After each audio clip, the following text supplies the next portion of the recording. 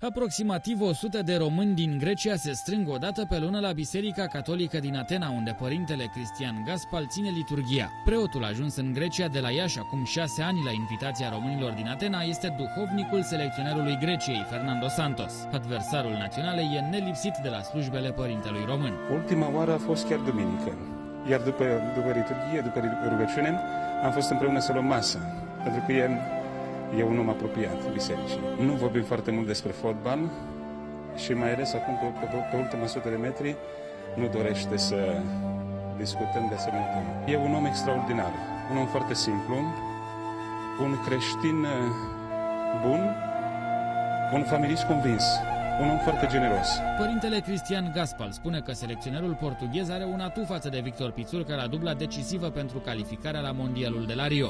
Înainte de partida cu Lituania, l-am salutat pentru că am primit biletele oficiale și i-am spus succes să învingă Grecia. Iar el mi-a deschis palma și în palma avea o statuie a Maicii Domnului de la Fatima și a spus cu Maica Domnului, cu ajutorul ei vom, vom învinge.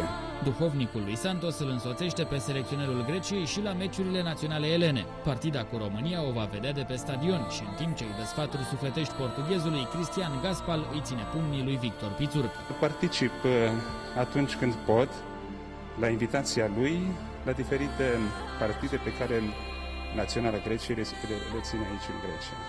Cine veți ține acum, cu România sau cu Grecia? Greu de zis. Uh, el uh, e antrenorul Greciei și în același timp este enoriaș al parohiei de aici. Sunt parocul lui, cu sufletul sunt alături de el, cu inima sper să fiu alături de România să putem învinge. Veți merge la meci? Sigur. Sunt împreună cu prieteni, cu familiare și sperăm să participăm împreună la sărbătoarea acestui eveniment. Cine, să fie mai bine, cine e mai bun să câștige.